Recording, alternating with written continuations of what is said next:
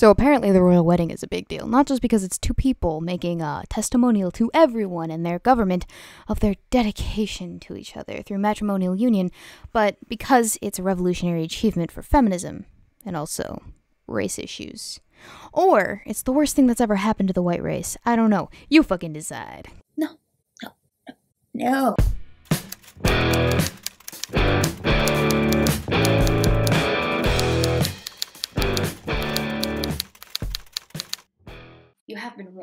Let the demonetization process begin!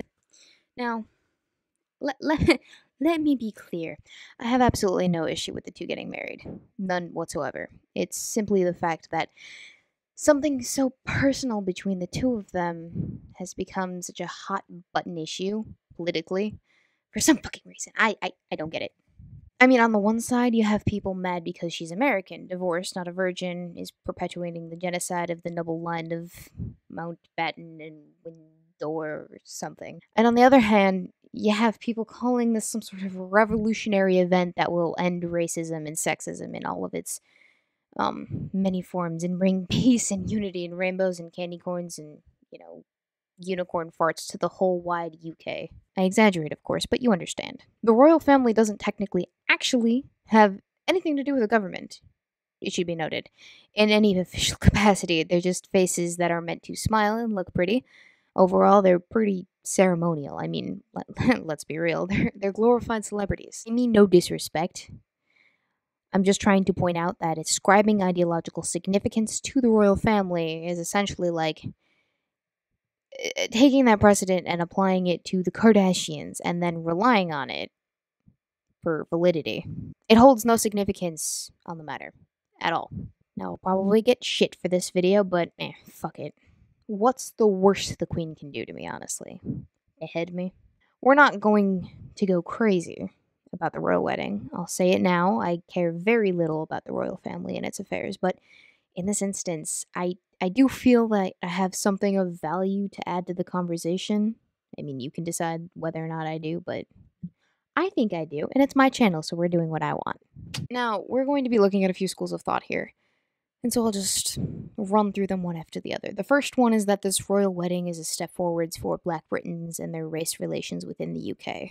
Quote, I think a lot of people think we're in post racial society, but it certainly doesn't feel that way for the black and brown people living here. Brinkhurst Cuff said, Racism is still alive and cooking here. Akpen agreed. Britain is still racist. It's still very racist, she said. However, British commentator Afua Hirsch suggested that when Harry marries Markle, it would change Britain's relationship with race forever. Don't underestimate the symbolism of a royal marriage, she wrote in The Guardian. From now on, it will be impossible to argue that being black is somehow incompatible with being British essentially we've made Markle out to be the second coming of Black Jesus for the UK black population. I mean, okay, if that's who you want to put on a pedestal, by all means. If you look at a certain other school of thought, this isn't the best thing in the world for all of Britain. It's absolutely the worst thing. Uh, take Roy Batty from the Daily Stormer. Quote, to be honest, this whole marriage is a farce on too many levels to even count. But if the Ginger Prince wants to go slumming, hey, hey, hey, hey, don't disrespect the Ginger ethno state. Son, he should have just tapped this mulatto whore, gotten it out of his system, and then married a decent woman to carry on his line. So, whatever, I'm not here to judge what woman a white man sticks his dick into. It's really none of my business. This is one of those instances where a but is, uh, in fact, required, and I am hence counting it. It is, however, my business when the royal family goes out of their way to convince white people that race mixing is okay in the future of their country and race. That's where I draw the line. And fuck, Harry, dude, why not just date a Portuguese girl like Shakespeare did? honestly, the audacity of this guy to think that Harry is actually going to read his article. I mean, come on, the guy's got better things to do than read your fringe, edgy troll bait fuck nugget wing shit. Like, okay, boy. If you're so keen on having a dark lady, you'll get the black hair, the smooth olive skin, and the feisty southern temperament. Why did it have to be a negress? Here's the thing I don't think it has to do with him wanting a dark lady. I think it has to do with the fact that um maybe he likes her. Maybe even possibly loves her enough to marry her and spend the rest of his life with her. Do you ever think of that? Oh my god. And the idea of having cheddar babies is disgusting as well. I mean, when you put it like that, I too would not like a baby made of cheese, but here we are.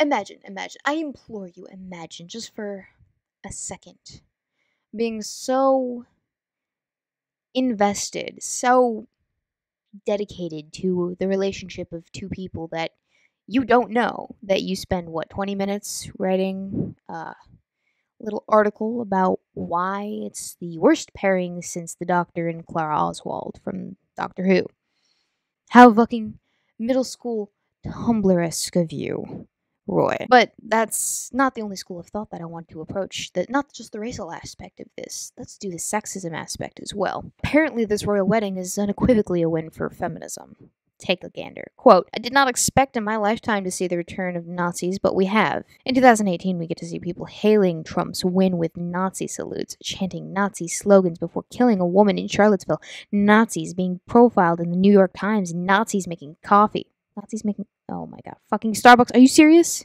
Because we cannot possibly, in current year, have a goddamn discussion about anything as mundane as a fucking wedding, a royal wedding in the UK. But a wedding, a wedding, all the same, without bringing up the United States president and Starbucks. I mean, there, there's got to be a limit to what constitutes as relevant in certain topics of discussion. For Christ's sake.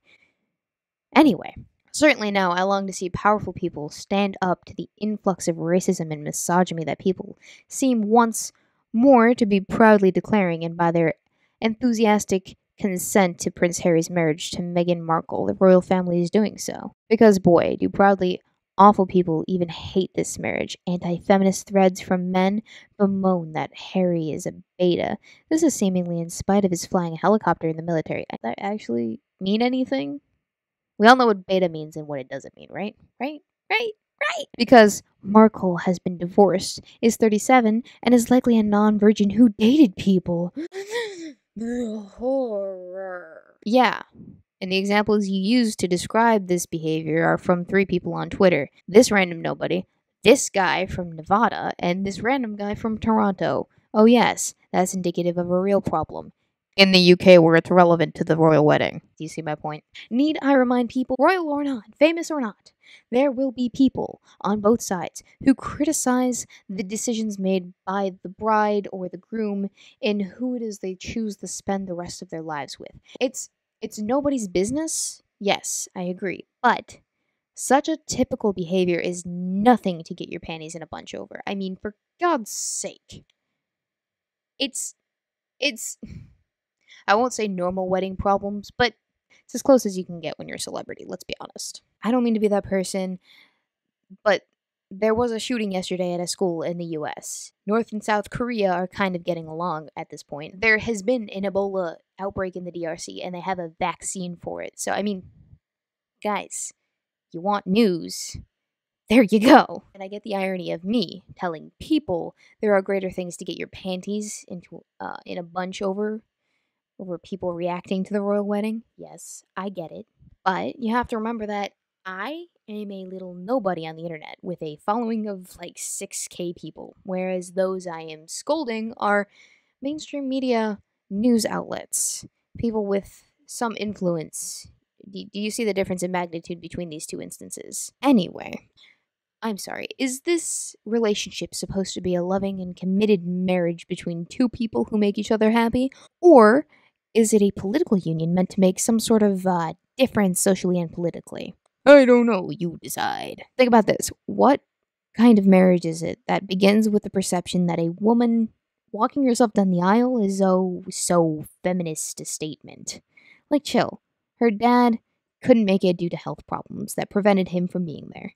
Otherwise, he would have done just that, most likely. Shit happens, though. That doesn't make it ideological. But of course, not everyone is on board with the whole, you know, her saving the black race in the UK concept. There are some people who think that Britain's racism issue is absolutely abhorrent simply by virtue of black people being a minority in the UK and unfixable in this capacity just by someone marrying into the royal family. Quote, When we start unraveling everyday racism, then we can talk about race relations moving forward, she said. People are ignoring that there is still so much work to be done. Reni Eddo Lodge, the author of Why I Am No Longer Talking to White People About Race. Oh, yes, I'm familiar. Said the royal wedding shouldn't be seen as a huge step forward.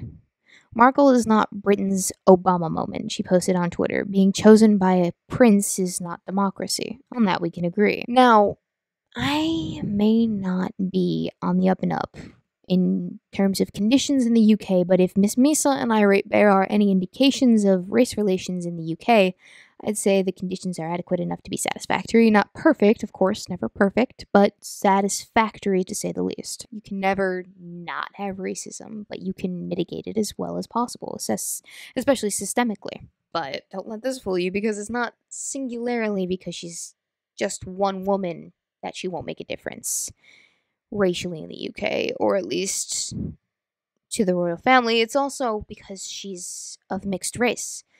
Apparently, she's not black enough to be that messiah figure that we talked about earlier. She's not white enough to be a royal princess, but she's also not black enough to be the messiah of the black Britons.